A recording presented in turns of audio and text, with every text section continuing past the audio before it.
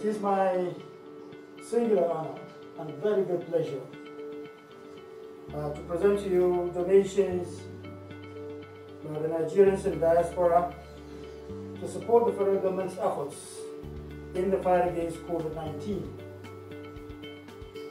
First, we wish to present to you donations by the Nigerians in diaspora COVID-19 support group.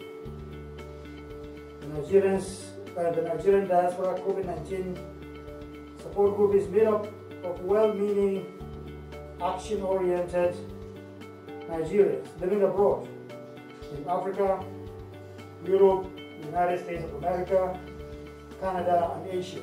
They therefore decided to come together to mobilize funds, as uh, Abike has said, to procure personal protective equipment for frontline medical and paramedical staff at the federal teaching hospitals across the 36 states of Nigeria and the Federal Capital Territory.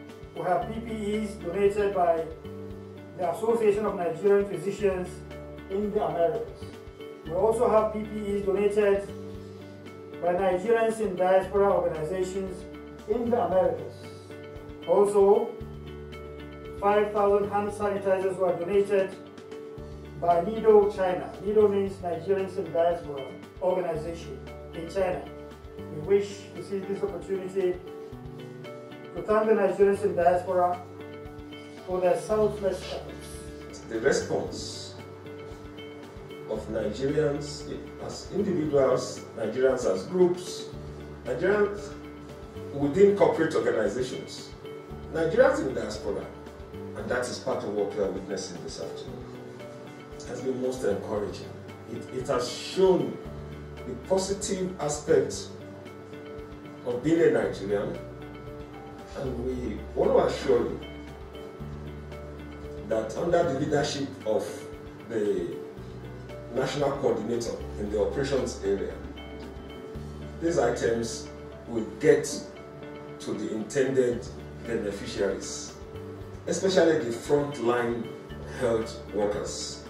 Um, I'd like to, on behalf of the PTF and uh, the entire uh, PTF members and the Secretariat, thank you for your generosity um, and um, at the same time reassure you that what has been donated today will be used judiciously and for the purpose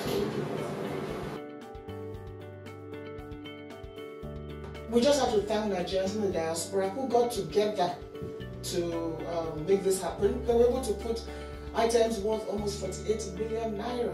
And you can see the way they're labeled. Every state is going to get something. Each state gets their own PPEs and they will be delivered directly. This effort, we did everything locally because we want to help in part of our nation building to help the Nigerian economy.